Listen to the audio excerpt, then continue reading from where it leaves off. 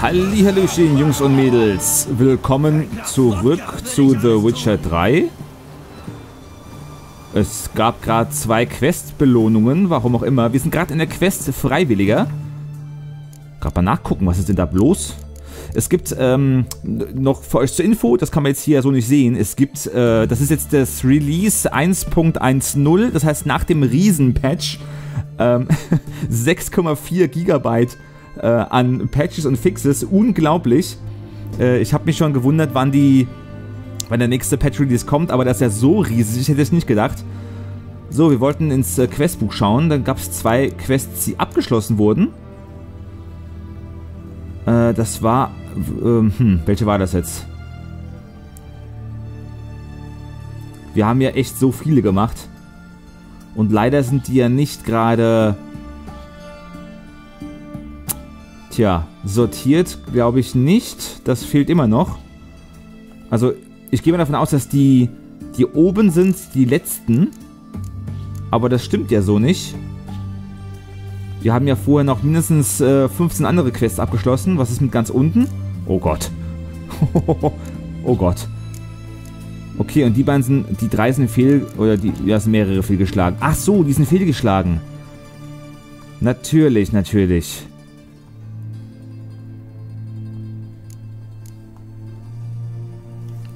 Triff Jennifer in Larvik. Der letzte Wunsch. Okay. Na gut, wir sind ja hier in der Quest Freiwilliger. Und nebst, äh, ja, nebst jeder Menge Bugfixes, die es gab, gab es auch ähm, noch mehr Korrekturen in, im Gameplay generell und äh, Stabilität. Es soll wohl jetzt noch besser laufen. Und ich finde auch, dass jetzt das Wasser viel schöner aussieht als letztes Mal. Das wurde auch irgendwo mal beschrieben, dass, dass es äh, Teile gab, Teile der Ozeane oder äh, Seen, die keine Wasseranimation hatten. Und dass das wohl auch korrigiert wurde in dem Zuge.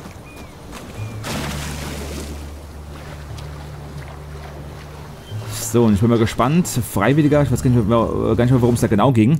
Wir lesen gerade mal das ähm, Quest. So, Nebenquest Freiwilliger hier. Als Gerald durch die sonnigen, aber vom Krieg gezeichneten Lande nahe Ochsenfurt zog, hörte er ein äußerst seltsames Geräusch. Etwas, das nach schiefem Gesang und dem Brüllen eines eingeklemmten Schweins klang. Gerald wäre ein schöner Hexer, wenn er dieser Sache nicht auf den Grund gegangen wäre. Hm, okay. Wir sind ganz in der Nähe hier.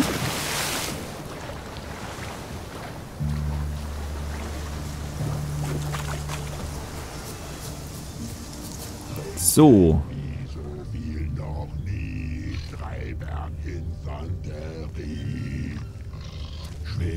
Schwert und Knöchel knack, tötet Nilfgaard Lumpenpack.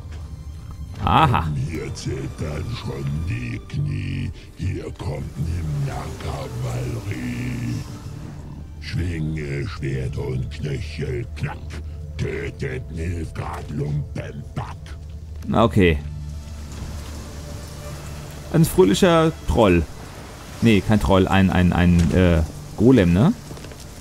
Du, Menschling, hier redanisches Armeelager. Kein Durchgang, kein Boot klauen.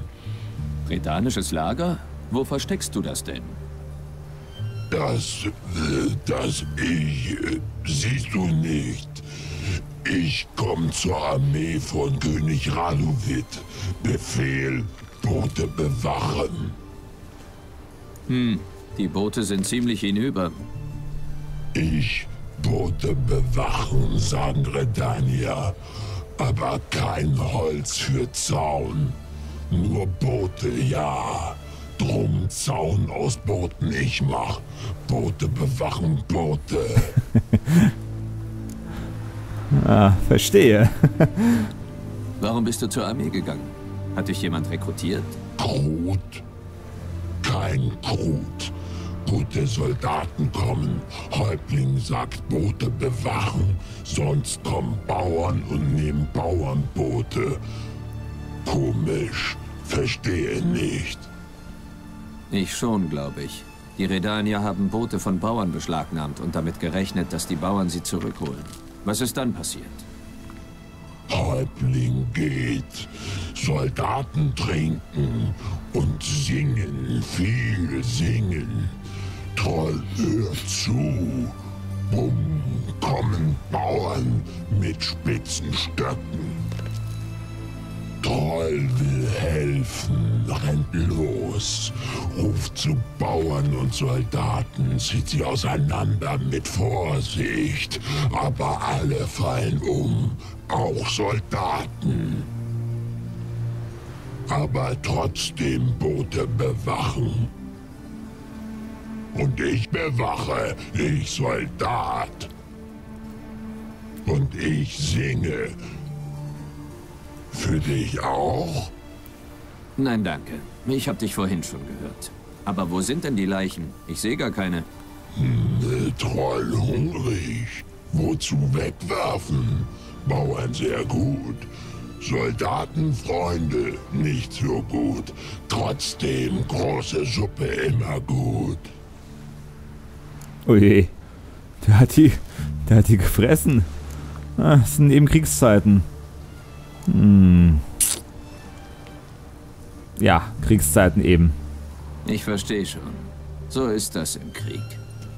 Du auch Soldat? Äh, nein. Trollmacht-Soldat. Trollhäuptling sagt, bring Farbe. Du bringst Farbe. Hm, Farbe? Was meinst du? Farbe, Farbe. Bunte Farbe, rote Farbe, weiße Farbe in der Stadt. Geh. Ich bewache Boote. Gut, ich treibe etwas Farbe für dich auf. Du gut. Redania Armee vergisst nicht. Nicht so lieb und nicht verkehrt. Gut, ähm. Alle tot vom Pferd.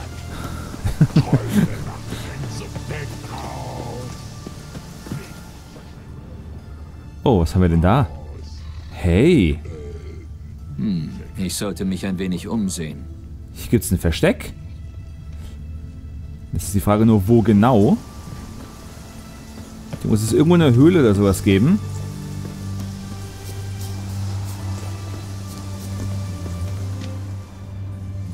Aber ansonsten sehe ich äh, nichts Großartiges. Gut, wir, wir schwimmen mal oder äh, segeln mal zurück und bringen dem Troll etwas Farbe mit.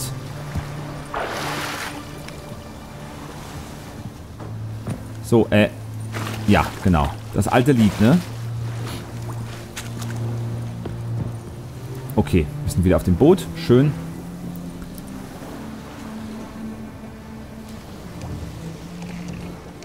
Und düsen da mal schnell rüber.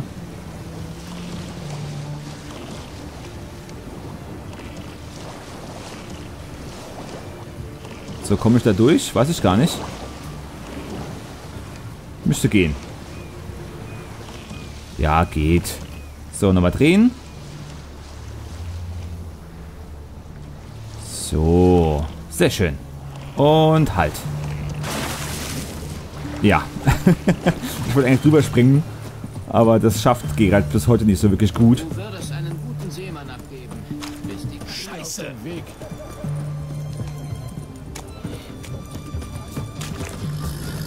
So, hier ist der Händler, der wohl Farbe hat.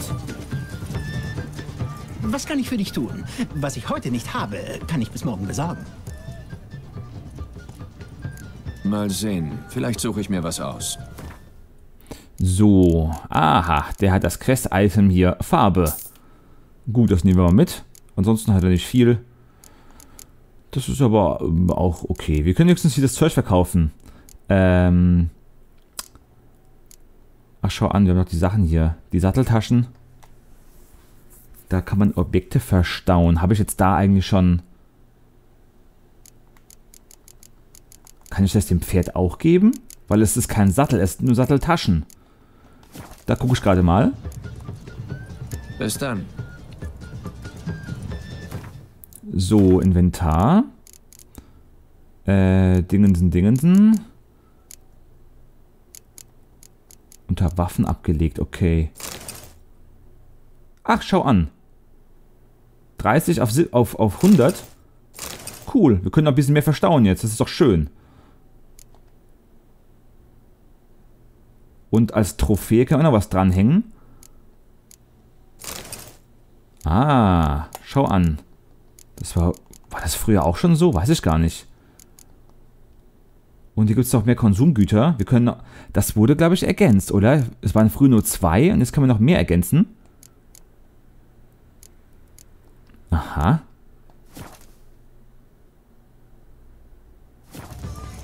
Gut. Was kann ich für dich tun? Mal sehen. Vielleicht. So, jetzt können wir auf jeden Fall die andere, äh, die kleineren da verkaufen. Die da. Und tschüss. Bis dann. Und tschüss. So, hoppla. Jetzt äh, gehen wir gerade wieder zurück.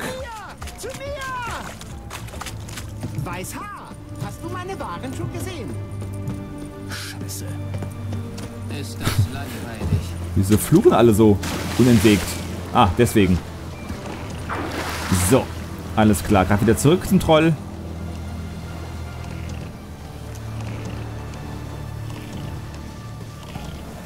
So.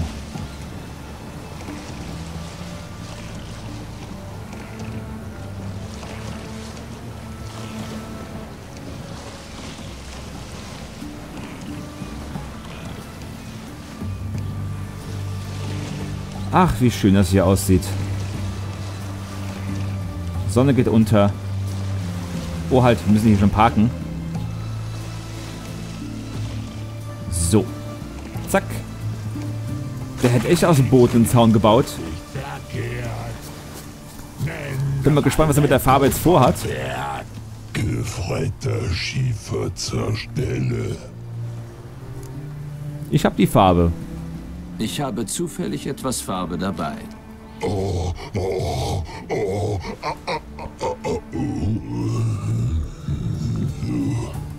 Was ist mit dem los? Was ist denn?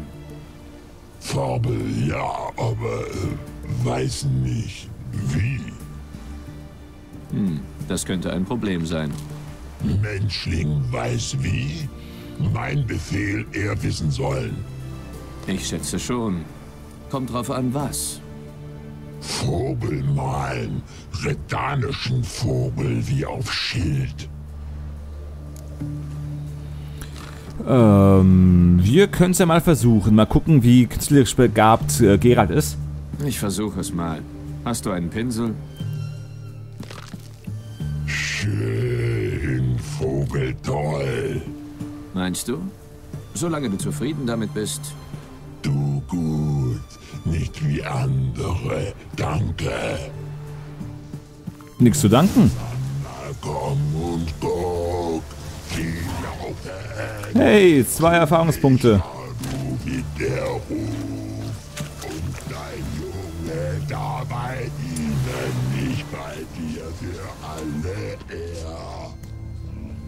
Und dein Junge da bei ihnen, nicht bei Oh je. Da singt ja was ganz Tolles zusammen. So, ich wollte mal kurz hier reinschauen. Ich nehme es nicht mit, weil ich weiß nicht, wie der Troll reagiert. Aber hier gibt es eigentlich nichts. Äh da auch nicht. Ne, wir hatten ja vorhin dort äh, den Wolfskopf gesehen. Wo war er denn? Da. Da war er, okay. Wir sollten mal hier schauen, ob es hier irgendwas Wertvolles gibt. Was ist damit? Dunkeleisenerz. Draht. Nee, das, das ist es nicht hier. Hier muss es irgendwo noch was geben. In der Nähe dieses Zeichens. So hoffe ich doch. Aber wenn wir es nicht gleich finden, dann können wir es auch sein lassen.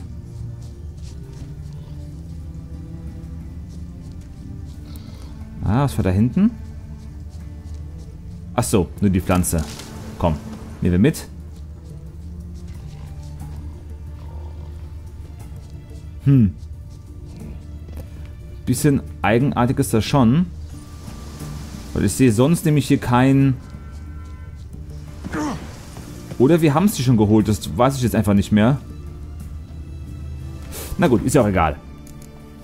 Nicht so schlimm, müssen wir es einfach nur merken fürs nächste Mal. So, wir können nochmal hier das große Erasmus äh, Wegelboot Gedächtnisrennen machen. Ich glaube, das Stück kann man gerade noch so reiten, oder? 600 Schritte. Wir holen mal plötzlich zur Hilfe. Ich hoffe, hier ist kein See noch in der Nähe, der uns das irgendwie jetzt äh, verwehrt, das Schnellreisen. Tanzen wir. Oh! Banditen! Haltet ihn, werft ihn in den Graben. Haltet die Schnauze und kämpft. Du Dreckshexer!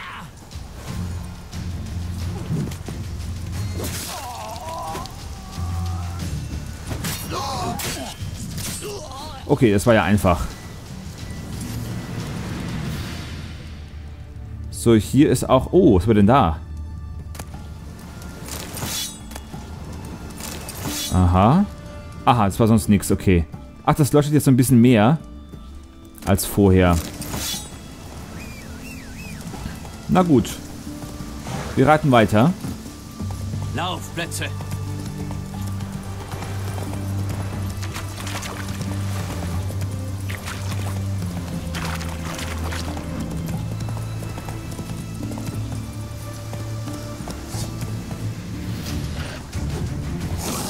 Oh Mist.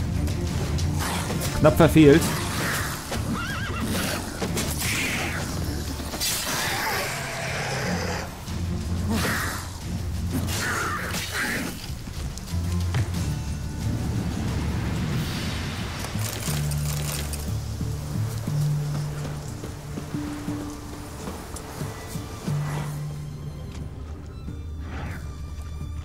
Okay, die lassen wir mal in Ruhe. Ah, eine Truhe. Ein Ballkopf. Mehr nicht? Wir müssen sie eh schwimmen, das nützt ja nichts, mit plötzlich jetzt hierher zu, zu reiten. Wobei, das Wasser ist so flach, wir können da drüber reiten, ja. Na gut.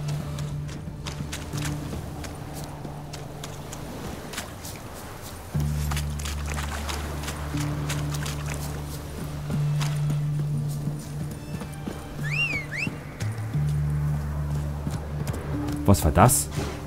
Habe irgendwas ganz komisches gerade gehört. Aber gut.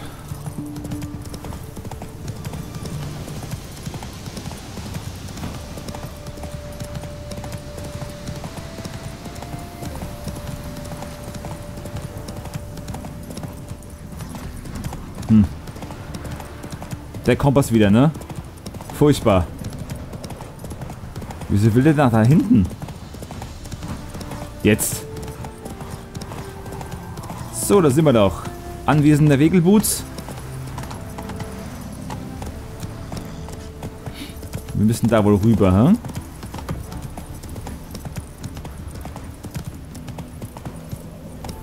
Die reinste Harmonie zwischen Ross und Reiter Langsamer. könnte sie für ein gestandenes Liebespaar halten. Welche Synergien sich da entfalten.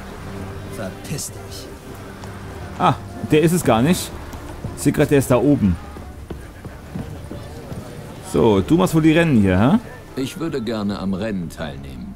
Wenn du das Startgeld zahlen kannst und dein Pferd hast, warum nicht? Entscheide dich bitte schnell. Gleich beginnt das Rennen. Ähm, gut. Die Rennen. Erzähl mir mehr darüber. Sie waren der letzte Wunsch von Erasmus Wegelbut. Er hat sein Vermögen beim Spielen gemacht und war stolz darauf bis zum Schluss.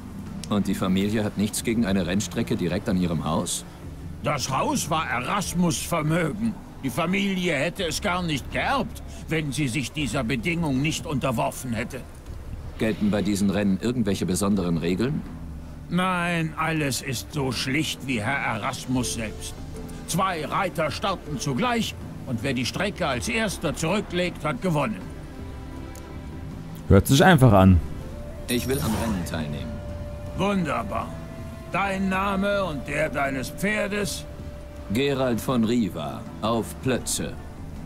Famos. Dein Gegner, lass mich mal schauen. Sea muss Holt auf Athos.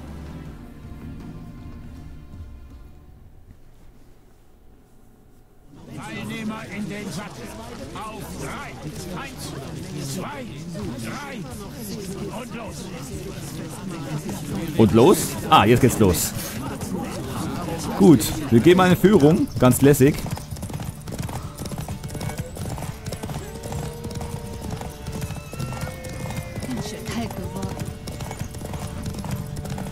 Noch ist es relativ einfach. Keine Baumstämme im Weg oder sowas.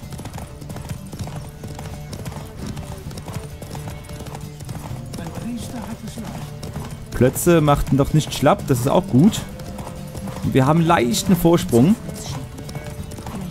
Du siehst blass aus. Probier's mal mit Zwiebeln in Öl. Hm, Zwiebeln im Öl. Okay, nicht mehr. Nein, nein, nein, nein, nein, nein, gib Gas, gib Gas, Plötze, gib Gas, gib Gas, gib Gas. Jetzt macht er schwach. Jetzt macht er irgendwie kurz schlapp, ja? Kurz vor Ziel. Hey! Das Finale des Erasmus Wegelbut Gedächtnisrennens ist vorbei. Der Sieger ist Gerald von Riva auf Plötze. Ruhm und Ehre dem Sieger. So ist's gut. Hey, so ist's gut. Nicht übel. Aber machen wir uns nichts vor. Die Konkurrenz hätte härter sein können. Soll ich dich nochmal einschreiben? Ah, jetzt können wir hier Geld machen, oder was? Nee, wir können Geld ausgeben. Ah, wir kriegen noch ein bisschen was zurück, okay. Also hier könnte man jetzt massig Geld machen. Wir machen es doch einmal, komm. Ich will noch einmal teilnehmen. Prima. Lauf nicht weg, wir fangen bald an. Dein Gegner ist diesmal Burggraf Rommer auf Caniculus. Der Burggraf reitet inkognito. Ich muss also um Diskretion bitten. Gut zu wissen. Mal gucken, ob der besser ist.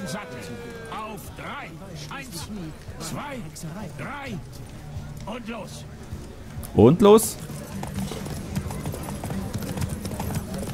Nicht drängeln hier, also bitte, ja?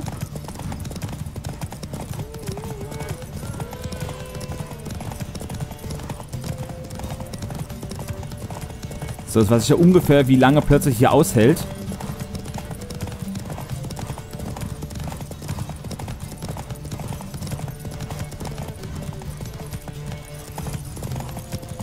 So klappt das ganz gut, ja. Ah, nein. Ich glaube, ich habe Fieber.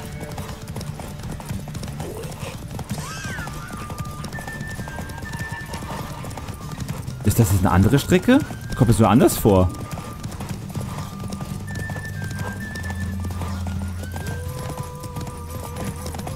Nicht überholen, nicht überholen, hinter mir bleiben.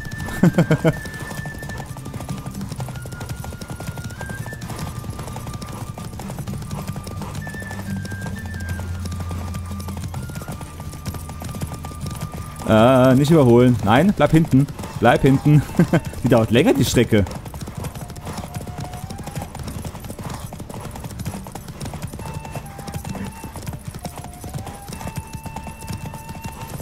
So, noch eine Kurve, dann haben wir es geschafft. Ja! Das Finale des Erasmus Wegelbut Gedächtnisrennens ist vorbei. Der Sieger ist Gerald von Riva auf Plötze. Wie gar keiner klatscht. Mano. Sieger. Yay! Bravo! Glückwunsch! Du hast mit Stil gewonnen. Soll ich dich nochmal einschreiben? Ich weiß nicht, wie oft soll ich denn das machen jetzt hier? Ist der Quest abgeschlossen dann? Gibt Es ist noch nicht fertig. Oh! Hoppla! Entschuldigung, ich wollte mit dir reden. Ähm, ich habe mich verdrückt. Ah, jetzt geht's wieder. Noch ein Rennen? Nimmst du teil? ja, komm, eins geht noch. Ich will es noch einmal versuchen. Bist auf den Geschmack gekommen, wie? Dein Gegner ist Luke Wegelbut, der junge Vetter des Herrn Albert, auf Succubus. Er ist das schwarze Schaf der Familie, aber er hat noch kein Rennen verloren und gilt darum als Lokalmeister. Okay. Teilnehmer in den Sattel. Auf drei. Eins, zwei, drei. Und los. Und los. Oh, der ist äh, nicht so schnell, mein junger Freund hier. So, das Wetter schlägt ein bisschen um. Und wieso ist denn da ein Pferd einfach geparkt? Sowas aber auch. Das sind andere Strecken hier. Jetzt sind wir rechts abgebogen. Und wir sollten kurz verschnaufen. Aber nicht so verschnaufen, nicht ganz stehen bleiben. Wow. Das ist ja sehr nah. Denn wir brauchen natürlich Plätze. Wieso biegst du rechts ab? Wir brauchen nämlich unsere Ausdauer für äh, die weiten Strecken. Und können hier bei diesen Kurven kurz mal verschnaufen, weil da kann er eh nicht an uns vorbeilaufen. Ver äh, bloß nicht. wir haben... Sag mal, was wird das jetzt? Gib Gas! Plötze, gib Gas! Oh Mann, oh Mann, oh Mann. Jetzt hängen wir nämlich hinter ihm. So. Puh. Ah, so, viel besser. ich meine, Plötze hält einfach ganz an, ne? Das ist auch nicht gerade nett. So, jetzt aber Gas geben, Gas geben, Gas geben, Gas geben. Weite Strecke, breites Feld. Das sollten wir nicht äh, ausnutzen lassen. Ich hoffe, Plötze schafft es doch bis zum Ziel. Natürlich nicht. Nein, bleib weg, bleib weg, geh weg. Bleib hinter mir. Puh. Ja, ich war ja auch, ich bin auch ein bisschen blöd. Ich habe das natürlich abgeschaltet, ne? Die, die Ausdauer des Pferdes. Das sollte man natürlich jetzt hier einschalten, damit man den Überblick bewahren kann. Aber so geht's auch. Irgendwie. Mit bisschen Action, ne? So, gewonnen. Das Finale des Erasmus-Wegelbut-Gedächtnisrennens ist vorbei. Der Sieger ist Gerald von Riva. Auf Ist das schön. Platze. Kein Arsch mehr da, guck mal. Großartig.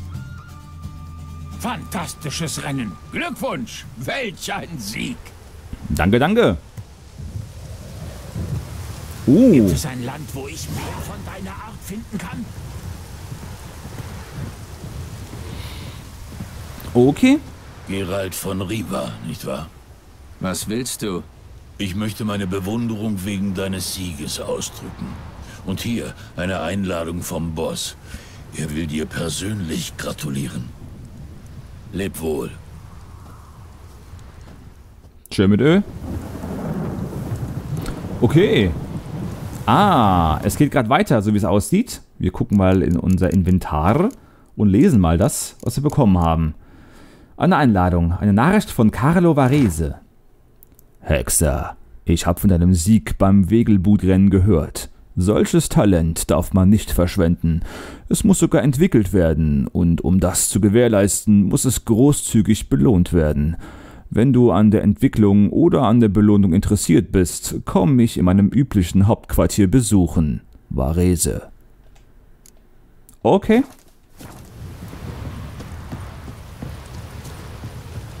Ich bin erkältet. Dann schauen wir doch gerade mal, wo die nächste Schnellreisekreuzung ist. Ach, die ist gerade da unten. Da kann man ja schnell hinjoggen.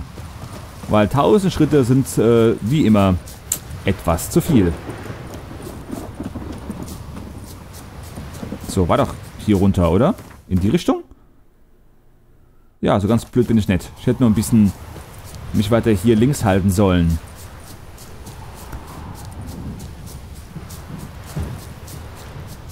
So. Zack. Auf zurück zum Platz des Hierarchen nach Novigrad.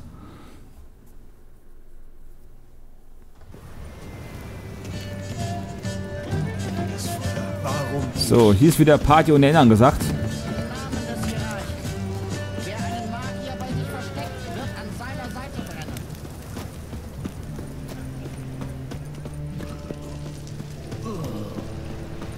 Wir müssen wohl da jetzt hoch, ne?